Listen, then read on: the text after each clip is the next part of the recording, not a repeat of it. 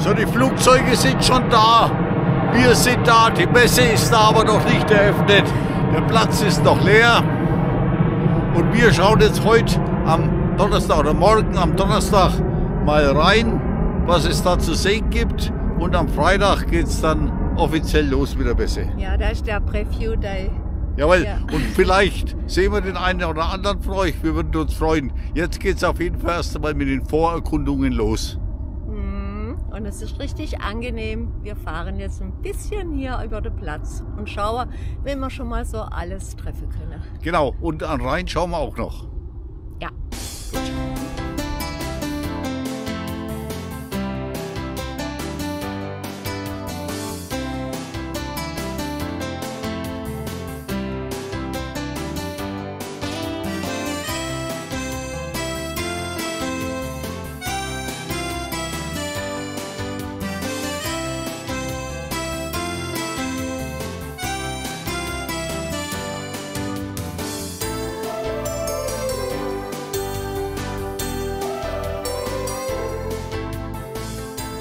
So, wir sind jetzt schon mal in der Messe drinnen, aber das ist noch alles im Aufbau.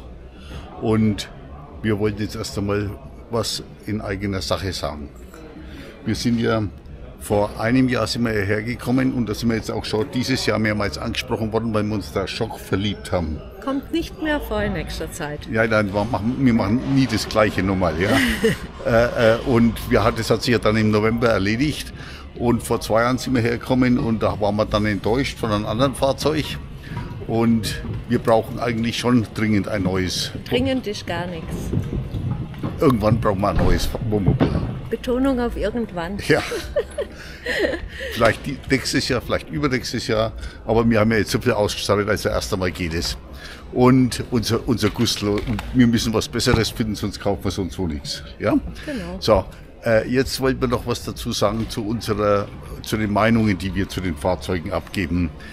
Es, es ist so, wenn ihr Fahrzeuge gelobt haben wollt, egal ob sie gefallen oder nicht, dann müsst ihr euch die Videos von bestimmten Campern anschauen, denn die werden bezahlt dafür, dass sie die Fahrzeuge loben.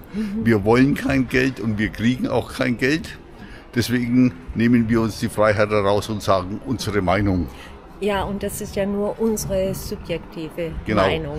Man nennt das teilweise auch, wenn jemand einer anderer Meinung ist, dann nennt man das teilweise auch Meinungsfreiheit oder man nennt es auch äh, Demokratie, ja, dass jeder seine Meinung haben darf. Und es ist auch vollkommen okay, ihr dürft gerne eine andere Meinung haben als wir. Nur wenn er uns beschimpft, das wollen wir nicht. Also dann löschen wir einfach den Kommentar, das könnt ihr als euch ersparen. Wir werden weiterhin die Fahrzeuge kritisch unter die Lupe nehmen, sagen das, was uns gefällt. Ja, eben wir sind aus unserem Gesichtspunkt. Ja, wir weil wir auf der Suche nach einem neuen Fahrzeug Irgendwann mal. sind und dann sagen wir einfach, das gefällt uns oder das gefällt uns nicht. Diese Freiheit nehmen wir uns, diese Freiheit haben wir und diese Freiheit dürfen wir auch haben. So, und jetzt hast du aber genug gelabert, jetzt gucken wir uns ein bisschen um. Jetzt geht's los. Wir- Wir haben schon ein paar Firmen im Auge, wo wir uns dieses Jahr die Fahrzeuge anschauen wollen. Mal schauen, was wir jetzt hier auf der Messe alles finden. Und die nächsten Tage gehen wir dann vor der Messeeröffnung rein. Dann haben wir Platz und Zeit, uns in den Fahrzeugen genau umzusehen, ohne dass wir andere Besucher stören. Genau, so machen wir das dieses Jahr.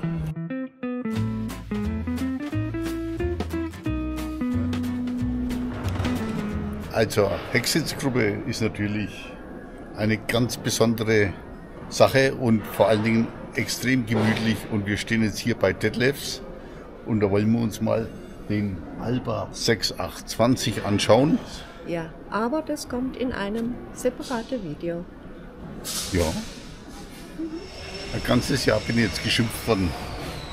Die Ossi hat gesagt, da waren Chinesen auch auf dem Caravansalon und, wir, und ich habe ihr das nicht gesagt. Jetzt sind wir natürlich gleich, wir gehen ja planmäßig vor, von der Halle 6 in die Halle 11 gelaufen, ja. Und zu den Chinesen hin. Und siehe da, jetzt sind die Chinesen nicht da. Ihr kennt es ja, wenn ihr Pakete aus China kriegt, die sind alle verspätet, ja.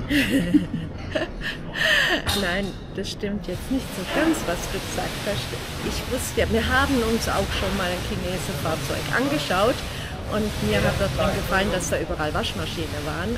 Aber die sollen sich ja jetzt, äh, sollen ja auch schon wieder besser worden sein und deshalb wollte man sie uns auch anschauen.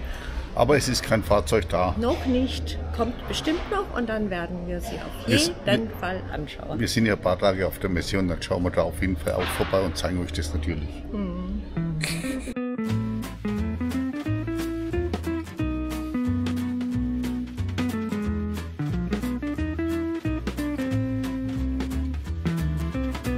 Noch im Aufbau, aber wir schauen schon mal rein.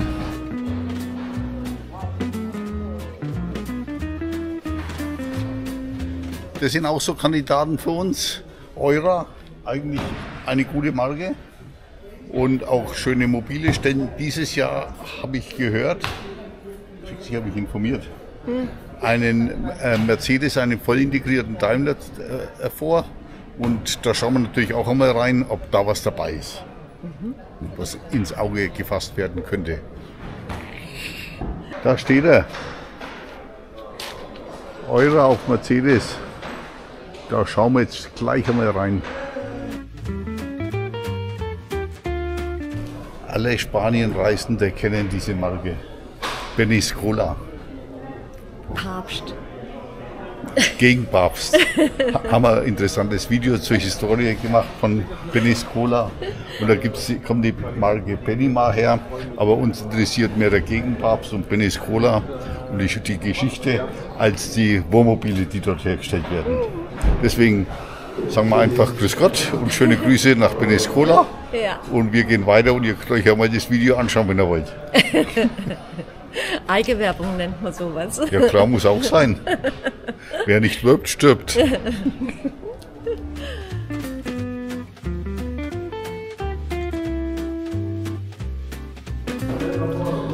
Vor dem Fahrzeug waren wir schon zweimal gestanden, von dem Adria.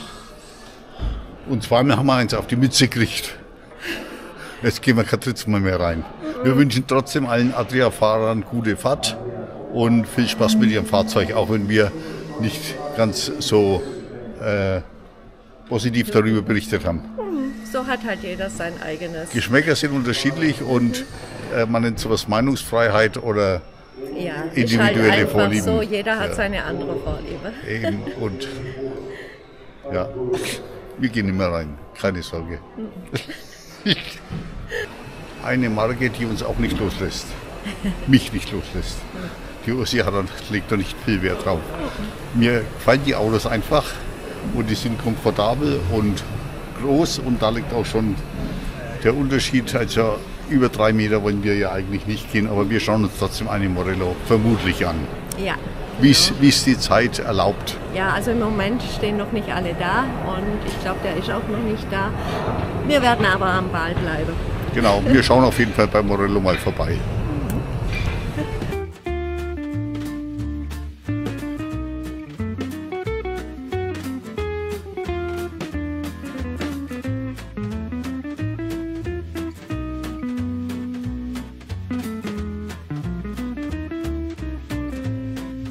Nichts für uns.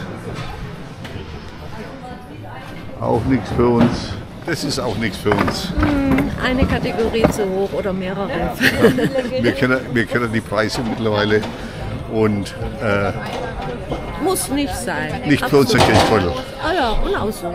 Muss nicht sein. Zu groß und zu teuer.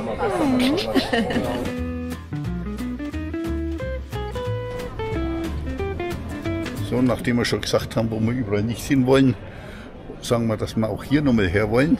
Zu Niesmann und Bischof, die haben einen neuen Arto und dann haben sie nochmal einen etwas tieferen vorgestellt, den weiß ich aber jetzt nicht mehr, wie der heißt.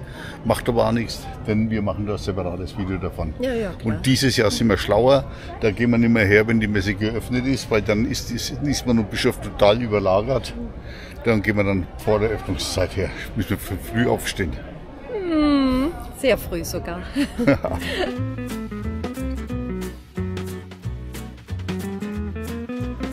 Und man kommt immer wieder aufs Bewährte zurück.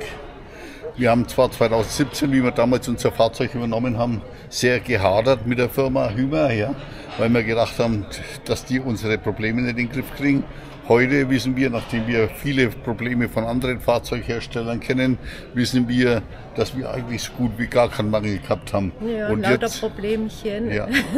Und, und jetzt, also das müssen wir mal ganz klar sagen, nachdem unser Fahrzeug mit der Garantie vorbei war, nach zwei Jahren kam nichts mehr Gravierendes, wo man sagen kann, da hätten wir einen Mangel. Und da gibt es andere Hersteller, namhafte Hersteller, wo viele Leute uns noch schreiben, dass sie nach drei, vier, fünf Jahren Riesenprobleme haben. Das können wir von Hümer nicht sagen und deswegen ist uns auch Hümer eine Fahrzeugbesichtigung wert.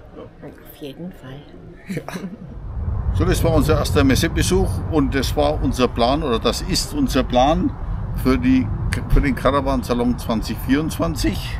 Wobei es können natürlich schon auch noch irgendwelche Fahrzeuge vielleicht gezeigt werden, die wir jetzt nicht in unserem Video gesagt haben. Also wir gehen natürlich auch in die Zubehörhalle, da werden wir sicherlich auch was machen. Ja, nicht nur in die Zubehörhalle, es, es, es gibt ja noch genügend andere Fahrzeuge und vielleicht sehen wir das ein oder andere noch, was vielleicht jetzt nicht nur für uns, sondern auch für euch nur interessant sein könnte. Genau, und jetzt mhm. kommt der nächste Flieger, jetzt müssen wir Schluss machen. Also bis demnächst Videos bei uns und schönen Messeaufenthalt. Tschüss. Tschüss.